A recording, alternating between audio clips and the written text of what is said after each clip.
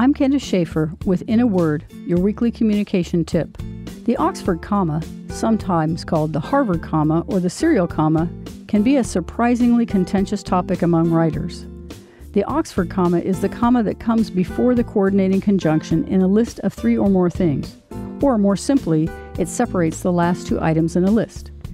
If you said, I enjoy reading, writing, and listening, a comma before the and would be an Oxford comma.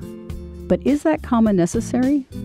A poll conducted by the website 538.com showed a narrow difference in opinion. 57% of people surveyed preferred lists that used an Oxford comma, while 43% found it unnecessary. Those who rated their grammar skills highly were more likely to prefer it. Those in favor of using the Oxford comma believe it reduces the potential for ambiguity by clearly separating the individual items in a list. For example, consider a sentence like this I rode on the parade float with my cousin, a retired police officer, and a famous circus clown.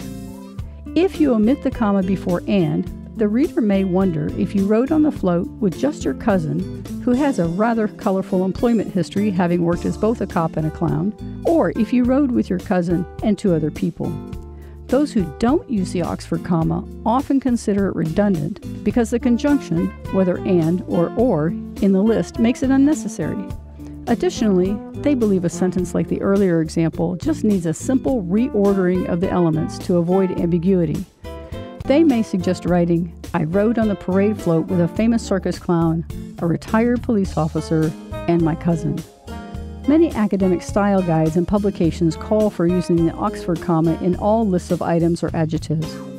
For instance, the Modern Language Association, the American Psychological Association, the American Medical Association, and the Chicago Manual of Style all recommend using the Oxford comma. On the other hand, many popular newspapers and magazines omit it. The Associated Press, The Economist, and the New York Times, for example, all forego the comma. Some writers, however, prefer to take a sentence by sentence approach. They use the comma if it reduces ambiguity and omit it when it seems unnecessary. My advice? Follow your style guide if you're using one. If not, pick a side in the debate and stick to it. After all, being a writer is about expressing your opinion, even when it comes to commas. This has been In a Word, a program made possible by the Texas A&M University Writing Center and a production of KAMU FM on the campus of Texas A&M University in College Station. For more writing and speaking tips, visit our website at writingcenter.tamu.edu. I'm Candace Schaefer, helping you make every word count.